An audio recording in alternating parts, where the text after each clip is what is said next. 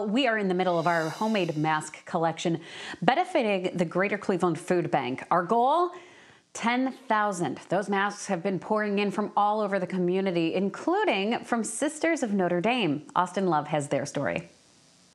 You know, that's what we do.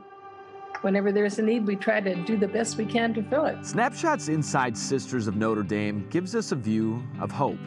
Since March, the sisters have been in quarantine, but they aren't letting their time go to waste. Instead, they've been cutting, sewing, and donating handmade masks. We started this like assembly line. Some trace, some cut, some draw lines, that's me, who fo- and then some fold the masks. Then we give them to the sewers who have machines and they do the sewing. And then we are ready to send them out.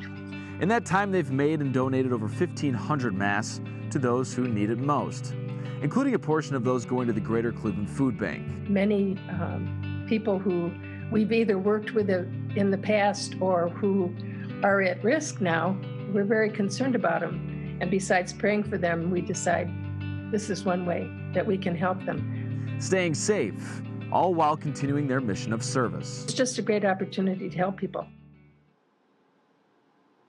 helping people that's what it's really all about. And if you can sew and you can uh, help other people to make these masks we are asking for you to help make masks. And if you were able to do that drop off those masks at south waterloo road for the greater cleveland food bank between uh, 8 a.m and 3.30 uh, p.m on weekdays. And also you can just drop them off at the station wkyc.com we have a or excuse me at wkyc right there on uh, lakeside. We have more information at wkyc Com. And Maureen, this is just going back to the Sisters of Notre Dame, something that their life is of service. And of course, uh, so many people needing help right now. This is just one way that they can uh, help those people uh, with, with, making these masks and just finding so much joy in, in doing that.